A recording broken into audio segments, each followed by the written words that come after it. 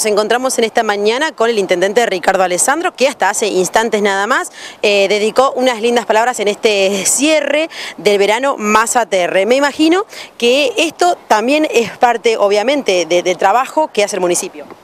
Buen día. Eh, la verdad que esto, como dije, me cambia un poco la vida, porque primero venir al náutico, segundo felicitar porque el náutico realmente está hermoso. Después en estas parrillas y en e, no estaban los hornos de barro, pero desde muy chico, te diría 10, 12 años, soy socio vitalicio del Náutico, hemos compartido siempre estos lugares hermosos. Y después verla el trabajo que han hecho los directivos, las maestras y el empeño que han puesto los chicos en esto, que es una cosa distinta para mí y es un, como digo siempre yo, es un hálito de aire fresco ante tanta cosa que ve uno todos los días y ante todas las tensiones que uno eh, por ahí no lo dejan relajarse como uno quisiera relajarse. Así que estoy contento con, el día de hoy. Ok, bueno, sabemos que... Eh, tenemos que hablar de temas muy importantes, como por ejemplo lo que fue la firma de convenio para el eh, camino a Verdier, que es un camino que ha traído ¿no? diferentes opiniones. Así que bueno, cuéntenos sobre, sobre ese convenio, eh, cuándo será posible tal vez que se lleve a cabo la obra que se requiere para ese camino. Bueno, este camino de 6.800 metros empieza con una dársena en la ruta 191 y va a terminar en la localidad de Verdier. Eh, por un monto de 271 millones de pesos, es un monto realmente importante y es la obra más importante que dio para la provincia interior hasta el momento Vialidad Nacional. Se firmó, anteayer se firmó, eh, 11 y media de la mañana con el administrador de Vialidad, con el señor Arrieta, con el subadministrador, eh, con Urdapilleta, y con el gerente ejecutivo Ruesla. Estuvieron presentes eh, Quique Escalzo, mi delegado de Enverdier, estuvo presente Juan Coli, que es mi, secretario de Obras Públicas, estuvo nuestra jefa de prensa, y bueno, estamos, estamos muy contentos, realmente eh, es una carpeta de 8 centímetros de espesor, y de 6 metros 90 de, ancho, va a abarcar todo el ancho de la, de la ruta, con 7 metros 10 eh, abarcando banquinas, que eh, abarcando la banquina, comprende alcantarillado, comprende limpieza de banquina, comprende la base calcárea de suelo cal, a pesar de que tiene una muy buena base, porque se había en su momento se había hecho un mejoramiento otorgado por la ex gobernadora eh, Vidal por 30 millones de pesos, pero ahora llegó el tan ansiado, es la primera vez que se firma un convenio. Quiero aclarar a la población que este convenio se firma y vino específicamente para la localidad de, para localidades productivas. ¿Qué significa localidades productivas? Para aquellos que puedan sacar el producto de una de las tierras más ricas de la, de la República Argentina y tal vez del mundo, que es la zona de Verdier, alrededor de 30.000 hectáreas, que produce, eh, produce importantes, eh, importantes, eh, importantes cosas para nuestro pueblo, importantes cosas para nuestra, para nuestra población, eh, con la cosecha que obviamente es el fruto de los, de los trabajadores del campo. Y, bueno, nosotros lo hemos firmado, estamos contentos, tenemos 60 días a partir de que ellos nos indiquen que estén todos los papeles hechos para llamar a licitación, y después de llamar a licitación comenzará la empresa a trabajar que tiene 360 días útiles, me refiero a días de lluvia, todo eso no se cuentan, para terminar la obra. Así que imagínate, me parece que es una obra de una envergadura muy importante, en el cual el municipio ha puesto todo y le empujamos, todos los que estamos presentes y los lo que estábamos presentes, más todo el municipio en general, el agradecimiento a todos los que no estaban, que también lucharon por esta obra, para que sea una realidad. Totalmente. Bueno, sabemos que eh, tenemos que hablar también, obviamente, siempre en el marco de lo que es eh, las obras, etcétera, en nuestra ciudad eh, ya hace rato que hay eh, planes de pavimentación para diferentes barrios. Y sabemos que eh, o por lo menos queremos saber, eh, los vecinos sobre todo, qué pasa con los barrios que aún no se han asfaltado y que sí existe la promesa de ser asfaltado, sobre todo porque se han visto máquinas trabajando y, aún no, no vemos eh, que avancen esas obras. Mira, la promesa está, las obras se van a hacer, se empezará por retiro, no sé si se continuará Cortrocha, a Rebagliati parte 2, se terminaron los desagües pluviales, está el dinero para el monto de dinero para venir, no creo que tarde mucho, Eso se va a hacer como se prometió. Estamos esperando la empresa que ganó la licitación y estamos esperando que la empresa que ganó la licitación, la provincia de Buenos Aires le pague. Esta es la realidad, la provincia de Buenos Aires va a pagar y la empresa va a comenzar. Así que algunas ganó Luciano, que está próximo, Luciano Sociedad Anónima, que está haciendo la ruta 32, que va a faltar el, Procrear con platas, con fondos genuinos de la municipalidad,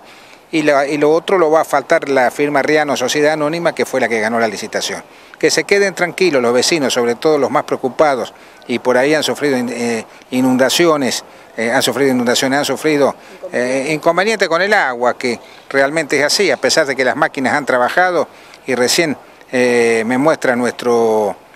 nuestro jefe de Corralón, me muestra la cantidad de reclamos que se han hecho y que se han trabajado ahí tiene que, y que se están haciendo, tienen que esperar porque esto se va a hacer. Eh, no es una promesa incumplida, sino que tienen que tener paciencia. Yo les pido que tengan paciencia. Este gobierno lo único que hace es, se preocupa por trabajar y se preocupa porque estas obras que, que comenzaron se terminen. Sobre todo nos preocupa la Rebagliati también, la parte 2 de la Rebagliati para que se termine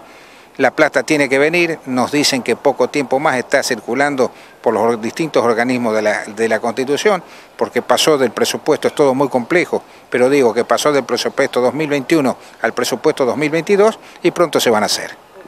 Bueno, tenemos que hablar también de la exposición que hicieron, eh, bueno, una parte de lo que sería la oposición. Usted se habrá enterado que hubo una conferencia de prensa hablando de eh, su desconformidad con eh, el aumento de tasas. ¿Qué, ¿Qué, responde a eso? ¿Qué le parece esto que está sucediendo? El aumento de tasas estuvo de acorde con la inflación, incluso la inflación fue de 50.9, el aumento de tasas fue para los mayores, los que tienen mayor cantidad de campo de 48 y para los que tienen menor cantidad de campo de 100 hectáreas de para abajo del 41. Y fue un aumento de tasa acorde a las circunstancias que estamos viviendo y no podemos permitir que la, municipalidad se desfinancie. Si dicen a costa del pueblo, la recaudación sigue, cuando la gente ve que el, municipio trabaja, que el, Ejecutivo trabaja, que nuestros concejales trabajan, la gente no nos va a defraudar y va a seguir pagando porque todo lo que pagan es traducido en obras y es para mejoras de ellos. Eh, tiene su derecho a hacer, hay algunos que hablan con fundamento, otros no, y hay algunos que hablan con, con criterio, otros con odio, eh, nosotros estamos en otra cosa, estamos en, para, en seguir trabajando y en seguir, en, seguir construyendo. Queda un año y medio de, trabajo muy fuerte en que yo tengo un agradecimiento muy especial y a lo mejor a la gente no le cae simpática, pero acá lo que ha dado la obra de, de Verdier es de, Vialidad Nacional. El agradecimiento, por supuesto, al, ministro de, Obras Públicas, a Gabriel Catopodis, compañero, compañero de, de Intendencia junto conmigo en su momento y, el agradecimiento al presidente Alberto Fernández. Y en la provincia el agradecimiento eterno, nunca Salto ha tenido tantas obras y nunca me han dicho que no, sino por ahí me decían, cura, no te apures tanto, espera un poquito, eh, yo soy apresurado por las obras, veo lo que se tiene que hacer y faltan obras para hacer, pero que las tenemos en carpeta, pero no sé si llegaremos a tiempo, pero el agradecimiento al gobernador Quisiló que mucho nos ha dado. Por ahí eh, los medios hegemónicos sacan alguna cosa que no tiene sentido. Pero acá en Salto nosotros creemos que está bien. Eh, lamentablemente para los productores agropecuarios el maíz de primera no vino bien, maíz de segundo viene muy bien, gracias a Dios por el momento, y, la soja se ha recuperado notablemente. Acá la cosecha, si bien no es así, no va a ser lo esperado, va a ser una cosecha, si Dios quiere, si Dios quiere, si Dios quiere que no pase nada, una cosecha de acuerdo a los a lo que realmente en este momento uno está, previsto hasta en este momento, ¿viste? Pero vamos a ver qué pasa, ¿viste? Por último, hablando de obras, digo, hay mucha gente pregunta sobre eh, la posibilidad de que se hagan eh, barrios eh, sociales o, más, más hogares y, casas para, los vecinos. ¿Qué, qué, puede decir? Hay alrededor de 90 casas, 40 por un lado aprobadas, que ya tiene un avance del 3%, que ganó la empresa de Fioramonte, si no me equivoco, y hay Mm, casas en Inés Indar aprobadas y hay distintas casas que se, que se comienzan a trabajar. Estamos esperando la plata, el monto de dinero que venga del Instituto de la Vivienda y algunos de, Hábitat de la Nación para poder comenzar esas casas que me parece que son importantes porque también tenemos casa y le vamos a ofrecer casa a la gente y esperemos que, que y está, obviamente, está algo que mucho se trabajó que ha tenido mucha participación. Hemos tenido todos participación, que ha sido el, la entrega de los 251 lotes que están en la etapa final de mensura y nivelamiento para poder entregarlo a los propietarios que han tenido un comportamiento ejemplar pagando lo que tienen que pagar, que van a ser entregados próximamente. No creo que tarde más de, fin de mes, de fin de, no de este mes, sino de fin de febrero. Bueno, muy bien, intendente. del pueblo, decirles que la fiesta del pueblo eh, van a ser tres días, eh, si no me equivoco van a ser 25, 26 y 27, con el desfile,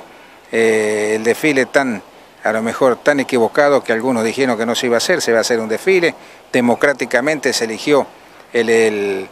que va a manejar el señor Barrera, eh, del cual es de mi conocimiento y es una persona de mi aprecio. El agradecimiento primero a Mancinelo, que condujo, a Mancinelo que condujo, y a Cacho Zapata que condujeron los otros desfiles con éxito, con singular éxito, y ahora Barrera, que va a estar a cargo del, del desfile que le realmente le tengo mucho aprecio y yo creo que lo va a conducir de la mejor manera posible. Estamos contentos, los gauchos van a desfilar, los 17 centros tradicionalistas, o 17 o 16 centros tradicionalistas van a, van a desfilar y nosotros les vamos a poner todo el empeño, de, todo el empeño necesario y va a terminar, eh, si Dios quiere, si Dios quiere y el COVID nos permite, va a terminar a todo lo que está como se merece. Bueno, habló del COVID, digo, ¿cómo estamos ahora? nivelados, no tenemos grandes, grandes subas de COVID, pero estamos en alrededor de 500, 500 casos y pico. Lo que sí hemos tenido, lamento muchísimo, en, la última, en los últimos 15 días hemos tenido, no me acuerdo si son cuatro o cinco muertes, que realmente eh, mucho me duelen, como me duelen todos los que han, los que han perdido a un familiar con, esta, con este flagelo que está castigando al mundo y que nos ha castigado a nosotros, pero creo, quiero felicitar y apoyar al, centro de vacunación que lo ha hecho de una manera impresionante lo que ha, lo, que ha eh, vacunado, tanto en primera dosis, segunda dosis y ahora en tercera dosis están vacunando realmente, eh, me parece que es importante lo que están haciendo y esperemos que la situación no llegue a mayores porque internados no son muchos los que están y hay algunos que han fallecido lamentablemente que a lo mejor no se han vacunado. Bueno, intendente, muchas gracias. No, gracias a ustedes, fraternal abrazo al pueblo de Salto, seguimos trabajando y, mucha suerte ¿eh? y esperemos que sea un 25 bueno y que, sea, que, que Salto siga estando a la vanguardia de los pueblos de la provincia de Buenos Aires.